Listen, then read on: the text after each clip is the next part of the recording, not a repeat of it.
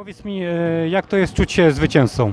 E, Fantastycznie, fantastycznie uczucie. E, Dawno już go nie zaznałem, także jestem no, przeszczęśliwy, można powiedzieć. A to jest twoje pierwsze zwycięstwo, czy, czy któreś z kolei? Nie no, zdarzały się już takie zwycięstwa jak pierwsze miejsca, ale już od dawien dawna pierwszego miejsca nie było, także to jest, jestem mega szczęśliwy. Najtrudniejsza runda w tym sezonie, runda uliczna z krawężnikami, mega niebezpieczna i tu taka niespodzianka pierwsze miejsce. No właśnie, chciałem zapytać, jak, jak, jak, jak oceniasz tą trasę dzisiejszą? No, trasa trudna i wymagająca. Co prawda, może nie jest mega szybka i najszybsza w tym sezonie, ale no, trzeba było mieć z tyłu głowy gdzieś tam troszkę rozsądku zachowane, że jeden mały, jeden mały błąd może bardzo dużo kosztować. Także no, z tego powodu jestem przeszczęśliwy podwójnie.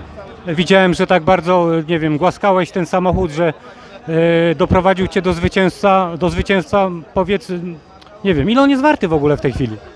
E, on jest, nie jest na strzelanie, także nie rozmawiajmy o cenach. Domyślam się, że dużo. tak, dużo, dużo. A powiedz mi, miałeś przez te trzy dni jakieś awarie, bo tak nie do końca obserwowałem?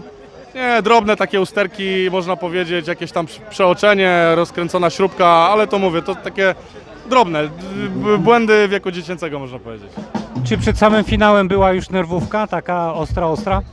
Nie, nie, ja już jestem powiedzmy takim zawodnikiem e, no na tyle doświadczonym, że ten stres już został parę lat e, za mną do tyłu, także robię to, co muszę.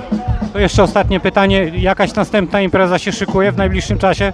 E, tak, no za trzy tygodnie runda czwarta, znaczy czwarta w tym sezonie e, w Koszalinie, Drift Open.